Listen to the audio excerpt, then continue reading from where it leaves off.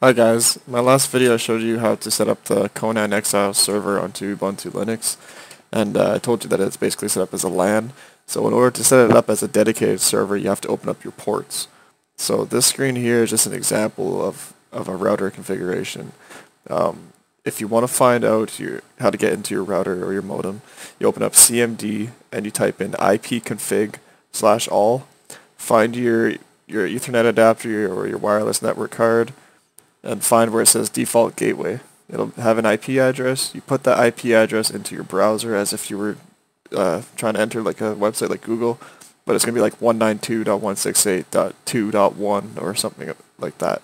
So once you uh, once you have that in there, then you have to access your router. You're going to need an admin password. It's probably going to be on the back of your router. It's different for different routers, but once this is just general idea.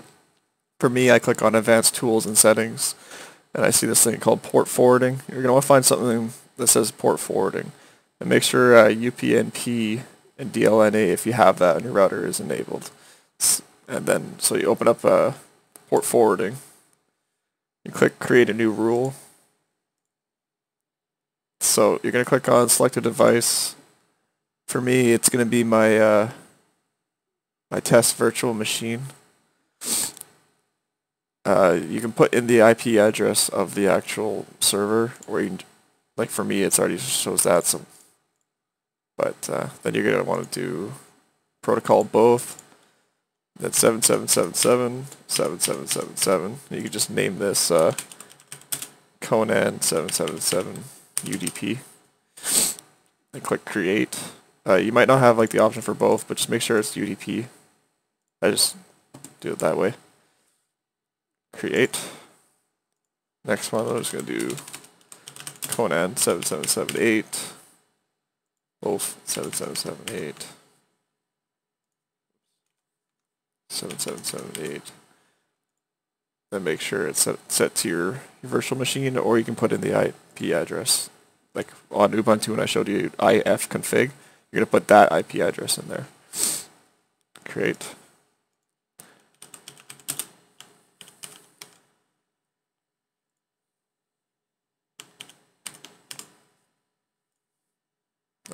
Whoops. Okay. Two.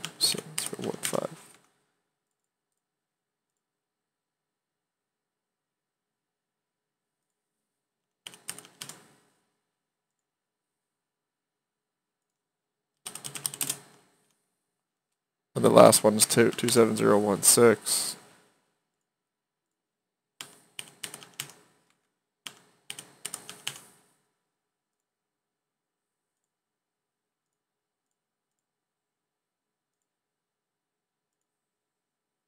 Just make sure they're all open. Save it. And that's all you have to do for your router. It might be different depending on the kind of router you have or if you have like a custom router. But if you just look up the model of your router, it'll be generally the same. Thanks for watching. Bye.